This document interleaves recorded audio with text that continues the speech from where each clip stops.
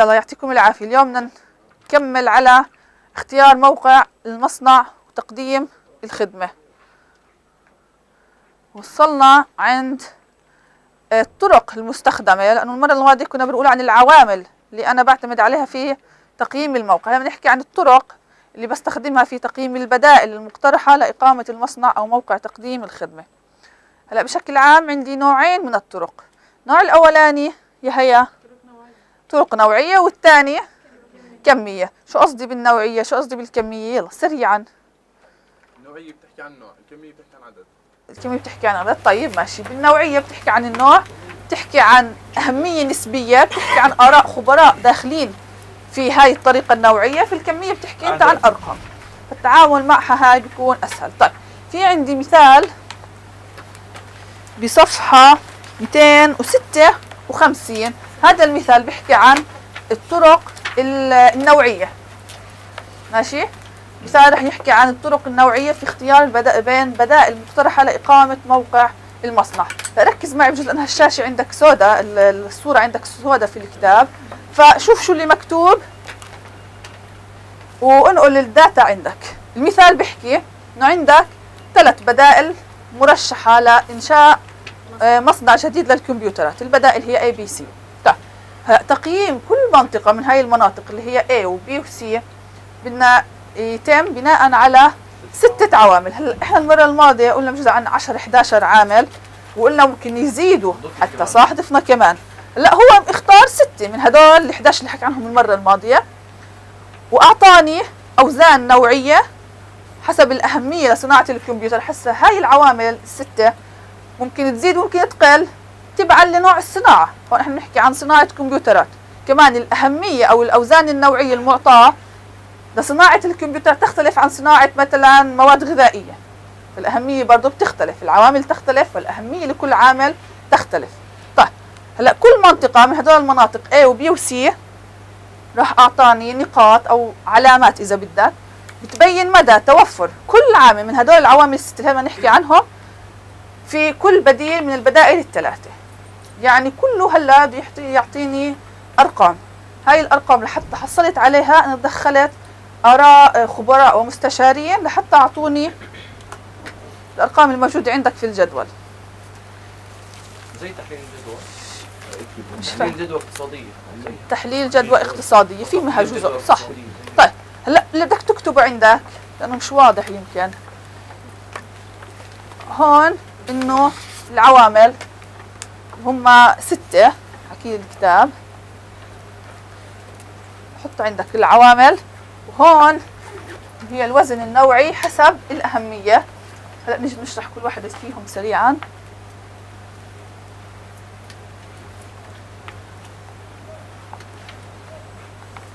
بعدين هاي إذا بدك نقاط أو علامات تقييم توفر العامل في الموقع. هلا هون نحكي عن ألف. بعدين لقدام بتحكي عن باء لقدام شوي بتحكي عن سي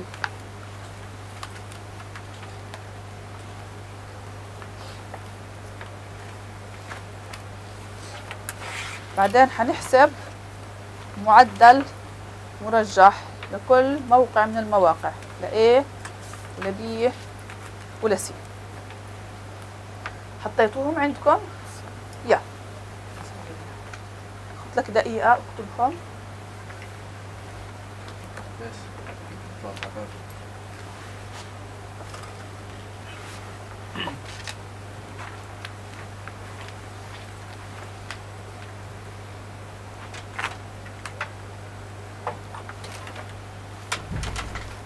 يلا. خلصنا. لسه. مش ضروري تنقل كل الجدول. الجدول عندك. شايف الناس بتكتب عمالها بالجدول من الصفر فبس اكتب عناوين الأعمدة. طيب. العوامل قلت لك هو ماخذ ست عوامل هو مركز على أيدي العامل المواد الأولية الطرق والأسواق ووسائل النقل والعوامل البيئية. هدول كلهم أو جزء منهم أو شيء آخر مختلف عنهم قد يدخل في تقييم عدة بدائل مقترحة لصناعة ثانية. صح. لا هو بيختار هدول الستة. هو حر. لو شايف إنهم هم الأهم لصناعة الكمبيوترات. طيب في الخانة الثانية الوزن النوعي حسب الأهمية. أسألك سؤال. لصناعة الكمبيوتر مين يعتبر العامل الأهم عند اختيار الموقع؟ عبد الرازق. المواد الأولية. المواد الأولية. البشر. كيف قلت لي هالمواد الأولية؟ وينها هيها كيف أنت قلت لي إنها هاي أكبر وحدة؟ دقيقة دقيقة. أو الأيدي العامة. أو مش أو هي الأيدي العاملة. آه هي الأيدي العاملة. ليه؟ لأنه هون بتشوف إنه الأهمية النسبية المعطاه للايدي العاملة هي 30% طيب اللي بعديها يا شوق. مين؟ اللي بعدها القرب من الأسواق. القرب من الأسواق صح 20% اللي بعديها يا أشرف. أشرف. نعم.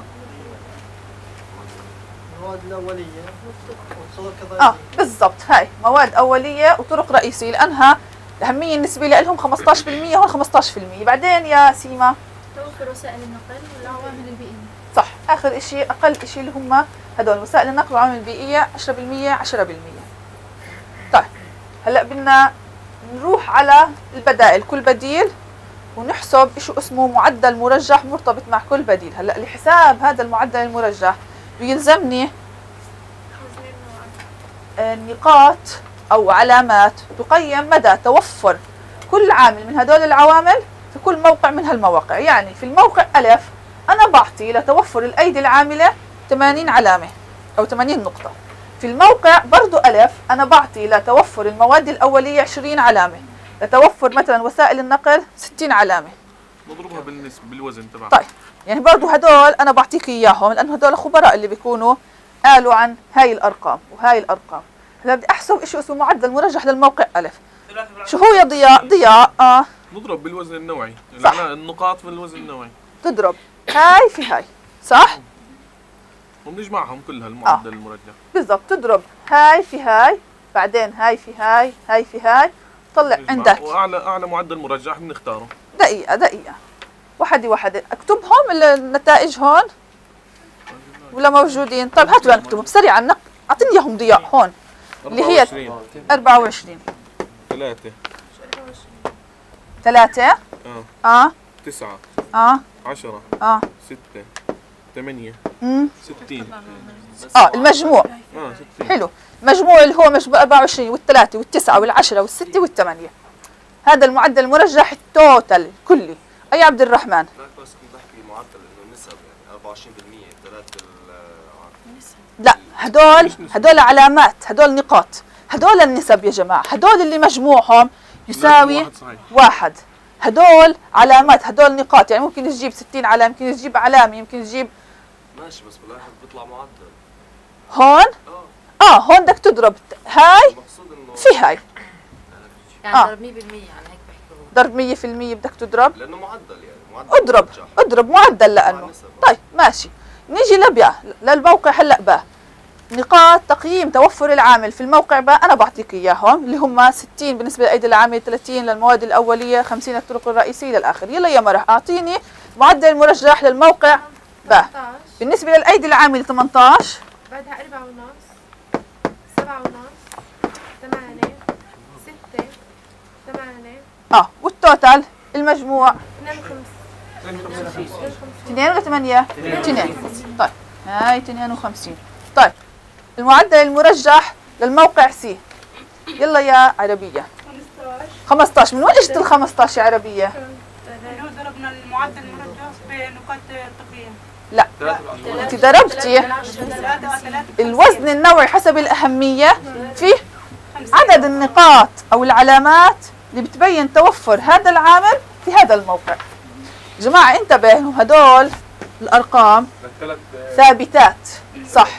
انت بتحكي عن هدول الثلاث بدائل لصناعة واحدة. ف الأيدي العاملة الأهمية تبعتها لصناعة الكمبيوتر هي 30% بغض النظر أنت بتروح تختار الموقع ألف ولا الموقع باء ولا الموقع سين فبتثبت أول عمود هذا ضروري تثبته. لا بتضربه بكل قيمة من النقاط أو العلامات اللي محققة هذا العامل في هذاك الموقع. يلا يا عربي هلا إذا بدك تضرب ب 50 ب 30% 15 ستة. ستة. 15 6 6 ستة. كمان 6 ستة. 6 ثمانية. 8 سبعة وأربعين. المجموع؟ سبعة وأربعين. 47 طيب أدهم مين اختار ما على عند مراجعة ستين. الموقع صح أروح اختار 60 هو the best موقع A؟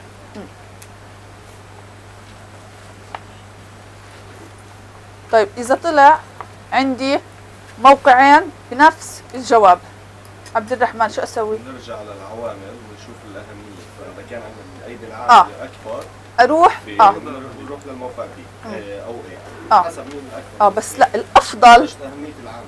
آه ساعتها أنت حصرت إنك ركزت كثير على إنه الأيدي العامله رجعت أعطيت يعني الوزن الأكبر والأهمية الأكبر ربطها بالأيدي العامله لا تساوى برضه آه. بجيب اثنين بزيد العوامل.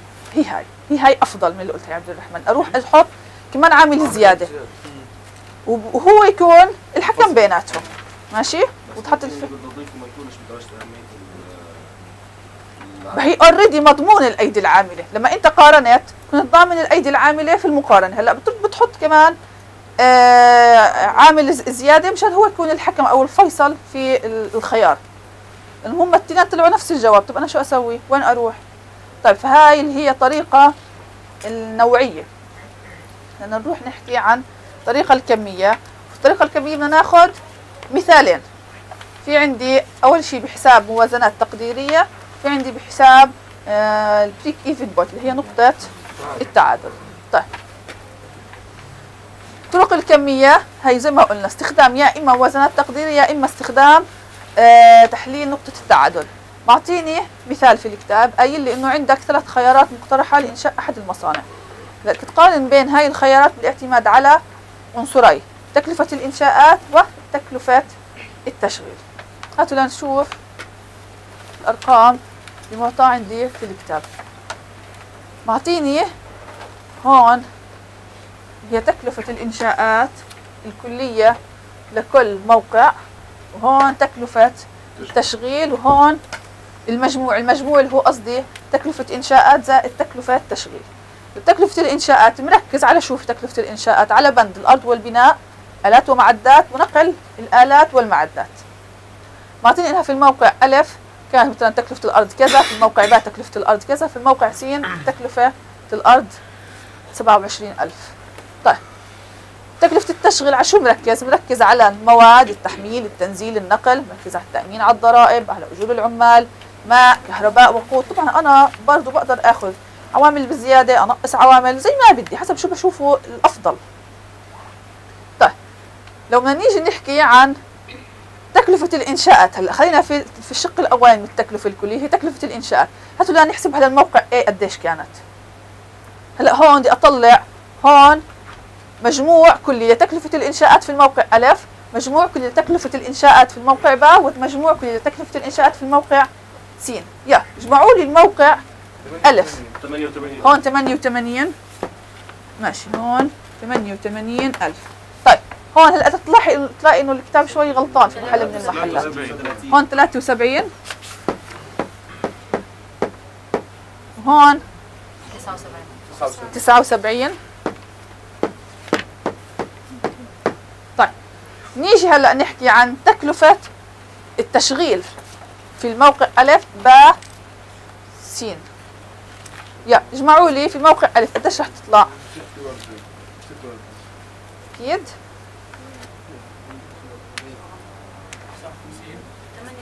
59 13000 14000 3000 و2000 إيش طلعت؟ 59000 59000 هون المجموع هون 59000 هون. 39 يلا ثاني واحد يجمع لي إياه.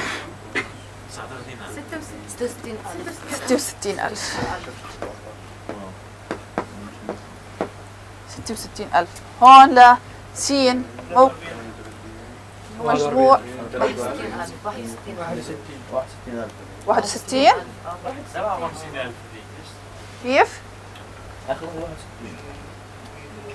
واحد 61 61 واحد 61 هون بتطلع 61 انتبه إنه الكتاب محل من المحلات مخربش فاكتبهم عندك هدول النتائج هلا بدنا نوجد مجموع التكاليف الكلية. بتحكي عن؟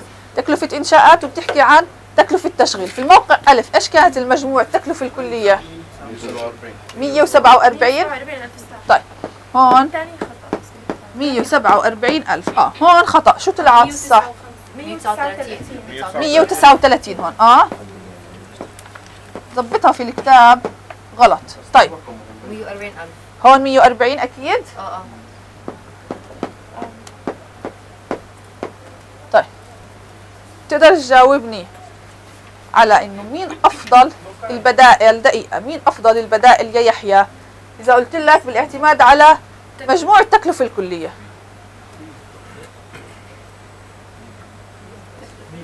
هون عندك 147 يا يحيى هون 139 هون 140 مين برأيك الأفضل إنك تروح تختاره كموقع؟ لا؟ بي. حلو صح. بتحكي أنت عن تكلفة وبالتالي بدك الأقل صح ولا لا؟ هون عندك 147 139 140 هذا إذا كان المعيار إنك بالاعتماد على التكلفة الكلية. طب يا عزة إذا قلنا لك بالاعتماد على تكلفة الإنشاءات مين تختاري؟ برضه بي. برضه B. صح. عندك 88 و73 في B و79 في C. صح. طيب يا عبد الرازق بالاعتماد على تكلفة التشغيل مين تختار؟ آه عندك هون 59 66 61 اختار ليش؟ A 59 بالضبط. فحسب شو المعيار اللي انت بتحكم على المواقع الثلاثة بالاعتماد عليه هيك بكون جوابك. هلأ الكتاب هو بتهيأ لي مركز على المجموع التكلفة بس الكلية. بناء على تكلفة التشغيل مين نختار؟ تكلفة التشغيل. هون عندك 59 وهون 66 و61 ف 59 إيه أقل شيء إنه أنت هون بتحكي عن تكلفة. فأنت أكيد معني بالموقع اللي تكون التكاليف فيه أقل ما يكون. يا. هلا هاي كانت إني بحكي عن طريقة نوعية بالاعتماد على آه، استخدام الموازنات التقديرية. بدنا نروح كمية آسف. آه كمية. بدنا نروح على آه، طريقة كمية ثانية باستخدام آه، نقطة التعادل. هلا إذا بتتذكروا قبل فترة مادة الفيرست كان إنه في أخذنا عن نقطة التعادل وكان في مثال بالكتاب. آه بالضبط. كان في مثال كان بيحكي عن إنه احسب نقطة التعادل. كان بيقارني بين يمكن تك... تكنولوجيا يدوية وتكنولوجيا آلية. أنا قلت لك هذا أجله شوي لأنه لقدام رح نرد نعيد هذا المثال بس بشكل أوسع. هي إجينا عند هذا المحل إنه هلأ بدنا نحكي عن آه، حساب نقطة التعادل بس مش زي ما كان عن بديلين المرة الماضية عن ثلاثة. هلا أنا لما بكون حللت هون خلاص اوريدي الحل هو هناك. مبدأ هو سهل تحكي عن نقطة التعادل. طيب بهذا المثال رابط لك إنه الموقع بالتكنولوجيا هو بيركز على التكنولوجيا هو بالنهاية حر أي عامل بده يعتمد عليه كمعيار للمقارنة بين ال- ال- المناطق وخلينا نقول البدائل المقترحة لإنشاء موقع مصنع هو حر. هون حاكي عن التكنولوجيا. معطيني ثلاث بدائل للتكنولوجيا. أكيد إحنا عارفين إنه فيش غير هالثلاث هو أهم ثلاث بدائل اللي هم يدوي آلي مؤتمت. شو يعني يدوي؟ هات لنرجع نتذكر. يعني بكون الانسان يعني بالضبط. صح الرك وال- وال- والشغل على الإنسان. يا عدي إذا بتحكي عن آلة كل عمل العمل البشري بتصير تحول شوي أكثر للآلة آه يعني صار في عندي آلة كومبينيشن آلة مع إنسان. مين اللي بيشغل الآلة الإنسان. طيب بعدين يا محمد منصور مؤتمت. يا مقداد صح. هلا صار يعني كثير محجم دور الإنسان. صار الحاسوب هو اللي بيشغل هاي الآلات. فإذا عندي يدوي وآلي ومؤتمت هلا معطيني في المثال التكلفة الثابتة لكل من هالتكنولوجيا مع التكلفة المتغيرة لكل من هدول الثلاث تكنولوجيات. التكنولوجيا اليدوية الثابتة لإلها 60000 والمتغيرة 12 الآلية 120000 والمتغيرة 6 المؤتمتة آه، 240000 ظبطها في الكتاب. في عندك صفر زيادة. 240 هي. 240000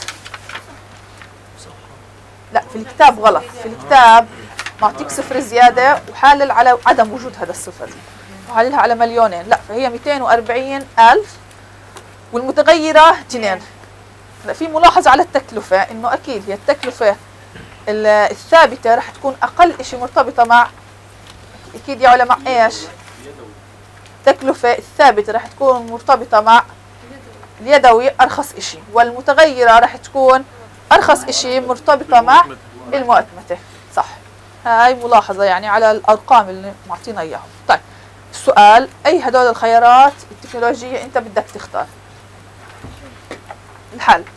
هلأ لما أنا بكون عندي تكنولوجيا يدوية وبدي أعمل شوية تعديل على الوضع اللي عندي. فأكيد رح أروح من يدوي إلى آلي. صح.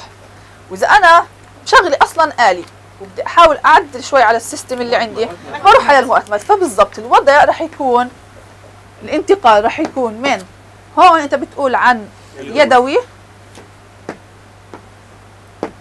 هاي المنطقة في هاي المنطقة أنت بتقول عن بالضبط آلي. وبعدين صرت بتحكي عن مؤتمت هلأ السؤال تبعي مطلوب مني أحسب فيه هاي النقطة وهاي النقطة. بمعنى النقطة الصفر اللي بنتقل منها من اليدوي إلى الآلي. والنقطة اللي بنتقل منها من الآلي للمؤتمت بمعنى أحسب يعني حجم الإنتاج اللي ببرر انتقالك من يدوي لآلي واللي ببرر انتقالك من آلي لمؤتمت أنا بدي أحسب هاي النقطة. نفرض إن هاي النقطة بدي أسميها إكس واحد. هلأ عند هاي النقطة التكاليف الكلية رح تكون متساوية سواء أنا حسبتها أو اشتغلت على آلي أو اشتغلت على يدوي. هلأ قبليها قبل هاي النقطة يعني إذا صرت بحكي عن هاي المنطقة بتكون التكلفة اليدوية هي اللي بتحقق لي آه، قصدي التكنولوجيا اليدوية هي اللي بتحقق لي تكلفة كلية أقل. إذا انتقلت على هاي المنطقة بتكون التكنولوجيا الآلية هي اللي بتحقق لي تكلفة إنتاج كلية أقل. هلأ خلينا نحكي عن الأرقام وخذ لك أي رقم. قبل هاي النقطة وبعد هاي النقطة واحسب عنده التكلفة الكلية باستخدام تكنولوجيا آلية واستخدام تكنولوجيا يدوية وقارن بيناتهم عشان تتأكد إنه اللي حكيناه صح إنه هون اليدوي هو الأفضل أو التكلفة الكلية هون أفضل هون التكلفة الآلية هي الأفضل. طيب هلأ خليني بس أحسب هاي النقطة أول شيء مشان أعرف شو الرقم اللي بدي أخده قبل شو الرقم اللي بدي أخده بعد. طب عند هاي النقطة قلت لك إن التكاليف الكلية تتساوى. سواء بتحكي عن يدوي ولا بتحكي عن آلي. هاتوا لنشوف التكلفة الكلية باستخدام اليدوي. شو تساوي؟ هلأ نحكي ال option الأولاني أو الخيار الأولاني اللي هو تكلفة يدوية مع آلية. هلأ يدوي مع آلي. بدي أحسب X واحد. X واحد هي يا جماعة حجم إنتاج احسب التكاليف هاي X واحد هي حجم إنتاج. quantity كمية. طيب هات لا تحكي لي عن تكلفة يدوية.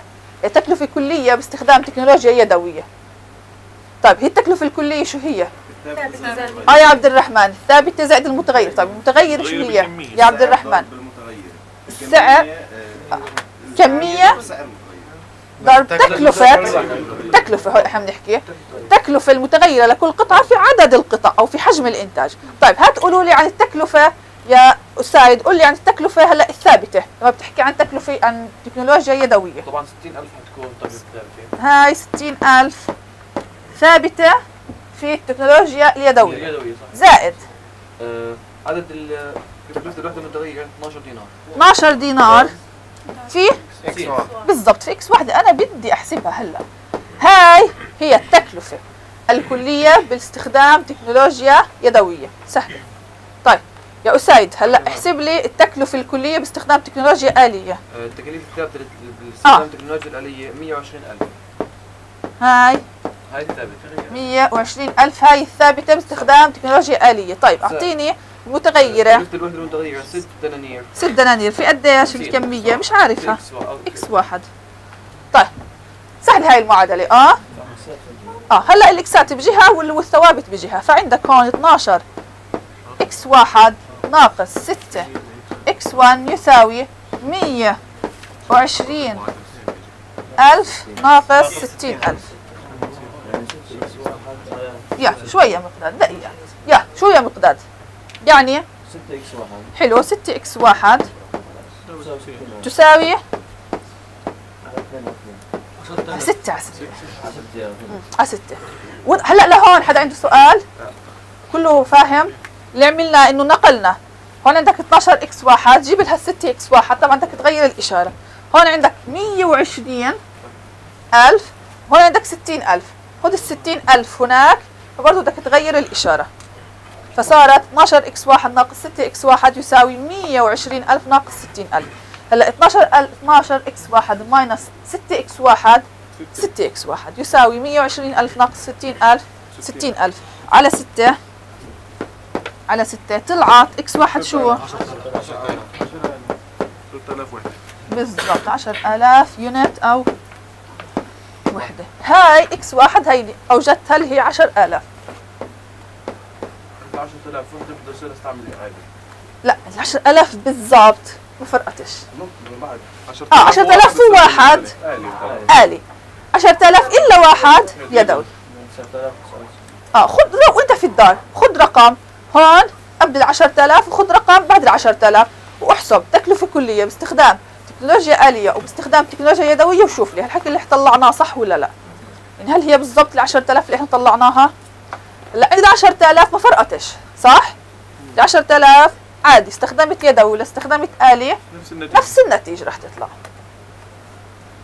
طيب خلصنا؟ يلا يا عربية خلصنا؟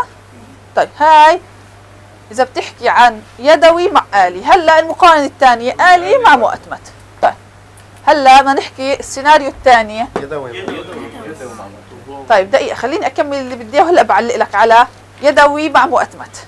هلا خليني على آه آلي مع مؤتمت. هلا. آلي مع مؤتمت. يا مين بده ينقل لي التكاليف الكلية؟ يلا يا أحمد. هاي هاي إيش؟ تكلفة إيش؟ هاي الآلة. هلا التكلفة الثابتة باستخدام الآلة 120000 هاي 120000 يا زائد آه هلا X 2 خلينا نسميها. آه خلينا نسميها إكس 2 6 في إكس 2 اللي هي هاي التكلفة المتغيرة باستخدام التكنولوجيا الآلية وإكس 2 اللي هي الكمية أو حجم الطلب. طيب هلا شو تساوي؟ التكلفة الكلية باستخدام المؤتمت. هون التكلفة الثابتة شو كانت؟ 200 زائد. التكلفة المتغيرة؟ 2 في إكس 2 طيب. هون نفس الإشي. عندك 6 إكس 2 ناقص 2 إكس 2 يساوي. 240000 أيوه يا مراح ناقص 120000 يساوي آه شو يساوي؟ X 2 4 X 2 آه. يساوي 120000 على 4 على 4 يساوي 30000 هون على على 4 30000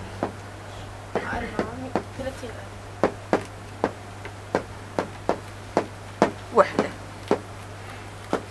حدا عنده هذا الحكي سؤال؟ لا. إكس 2 طلعناها. هلا قد إيه 30000 بعد استخدام ال 30000 واحد المؤتمت يعني إنت 30000 يا إنت 30000 شو تختاري انصحيني 30000 بختار الآلي أو مؤتمت بس إذا كانت أعلى من 30000 أيوه. بختار المؤتمت أقل الآلي بالضبط هي هاي. هلأ عند 30000 بالضبط ما فرقتش التكلفة الكلية متساوية عندهم. فرقتش مؤتمت مع آلي هلأ فوق ال 30000 بقطعة بتحكي عن مؤتمت تحت ال 30000 بقطعة بتحكي عن آلي. طيب هلأ في مقارنة ثالثة عاملها الكتاب اللي هو يعد يقارن بين يدوي ومؤتمت يدوي ومؤتمت. ال- الآلي بده يلغي بده ينط مثلا من يدوي لمؤتمت آه. آه. تعدل هون ال 18000 يعني بيلغي الآلي بصير نقطة, آه. آه. نقطة واحدة من النص آه. اللي بين اليدوي والنقطة على المؤتمت طيب بحل لك إياها هلأ بس بالمنطق لما أنت بتكون يدوي تروح دغري بتنط على صعب المؤتمت آه. لا صعبة جدا صح آه. صعب جدا إنك تكون يدوي وتروح على المؤتمت ما انت بدك سنين أصلا لا حتى لو عادش التكلفة موجودة بس يعني صعوبة التعليم والتدريب. هي بالضبط في عندك حتى صعوبات؟ يعني العامل نفسه ما انت يا دوب تقنعه إنه من يدوي لآلي بدك تروح تق- تقنعه من يدوي لمؤتمت فكتير صعبة. أصلا بالمؤتمت راح تتعن عامل. ما هو هي هاي بدك تقول له يعني bye bye. شو مش إيش بدك تقنعه. فلا هو المنطق بيقول إنه من يدوي لآلي ومن آلي لمؤتمت هلأ حكى عدي إذا أنت بدك تنتقل من آلي لمؤتمت دغري. فإيش هذا حجم الإنتاج؟ خلينا نقول X 3 إذا بدك تسميها. اللي بنصحك إنه قبليها استخدم يدوي وبعديها استخدم مؤتمت. نحلها الاكس 3 طيب هلا لهون حدا عنده أي سؤال؟ بالامتحان تطلبيها. آه بطلبها. ممكن في الامتحان إيش أجيب لك؟ أقول لك مثلا عندك حجم إنتاج مقداره قصدي بالثلاث نقاط. 9000 يا شو نوع التكنولوجيا المستخدمة؟ يدوي. يدوي. طيب عندك آه 15000 آلي. عندك 40000 سهلة. ماشي؟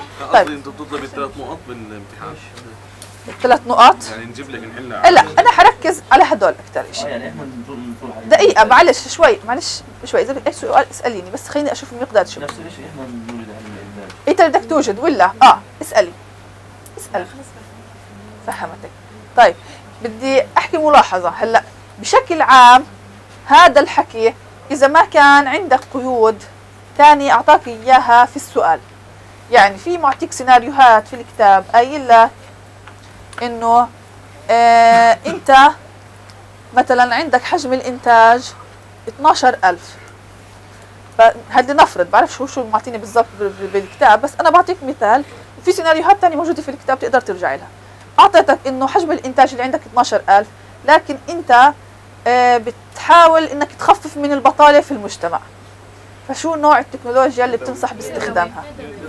أنت بتحكي عن 12000 يعني حدود تقريبا ال 10000 مش هالفرق اللي كتير أو مش هالتوفير اللي كتير اللي راح يجيك في التكاليف الكلية إذا استخدمت تكنولوجيا آه، آلية عن اليدوية. بتضل زي مسؤولية اجتماعية. إيه بالضبط. في عندك هون دخل على الخط عنصر خلينا نقول اول عامل اللي هي المسؤولية الاجتماعية تبعت المنشأة إنها هي صح لو تحكي عن 12000 هون إذا اشتغل إذا اشتغلت على الآلي فهي راح توفر لها على جيبتها.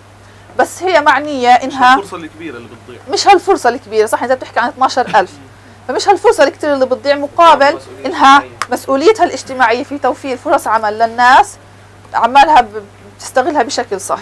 فبالتالي ما هي بالضبط. هو بالنهاية شو المسؤوليه الاجتماعية؟ آه مثلا تقليل ضرائب حلو. فممكن أنا أدخل لك سيناريوهات أو شوية قيود خلينا أو محددات.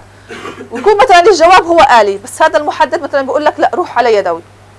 مثلا ممكن يكون الجواب مؤتمت بس نخلي مثلا إنه الآلي لقيود ما صارت أفضل من المؤتمت. وضحت الفكرة؟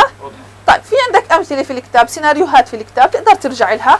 بناء عليها تجاوب كيف هلا سألنا أسئلة؟ بدخل ال- الكمي مع النوع آه حلو حلو. طيب لحد هون حدا عنده سؤال؟ طيب هلا المرة الجاي بنوقف عند جزئية إنه إذا بتحكي يدوي مع مؤتمت سريعا بحلها. آه لأنها ما بدهاش اشي خلص لهون بنوقف وبنكمل المرة الجاي.